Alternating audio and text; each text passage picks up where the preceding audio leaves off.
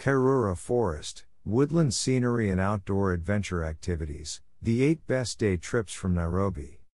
Located 5 miles north of the Central Business District, CBD, Karura Forest lets you immerse yourself in unspoiled nature without leaving the city limits.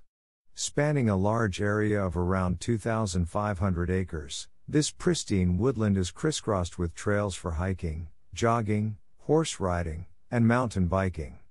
Discover secret streams and majestic waterfalls, shy forest birds, Skyes' monkeys, and diminutive duiker antelope. For the best experience, sign up for a Karura Forest Eco Tour. Led by professional local guides, themed tours range from geology and ecology to bird watching and primate tracking. Getting there, Karura Forest has five gates. The main entry is on Limuru Road and can be accessed by private car, taxi, fares cost approximately 900 Kenyan shillings from the city center, or Matatu.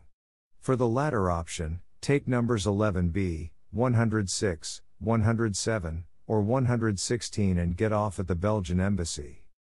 Travel tip If you'd like to explore by bicycle, there are two depots within the forest that rent out multi speed trail bikes for the day.